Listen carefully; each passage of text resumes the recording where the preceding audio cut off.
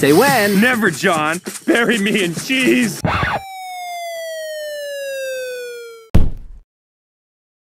awesome. You see, the joke is that Garfield literally got buried in cheese. And since Garfield is voiced by Chris Pratt in this movie, I used a voice clip from the role that he played in the Lego movie. Thanks for watching. If you liked this video, make sure to like, share, comment, and subscribe to the Pizza Dog Comics YouTube channel. Make sure to also click the notification bell to get notified whenever a new video comes out.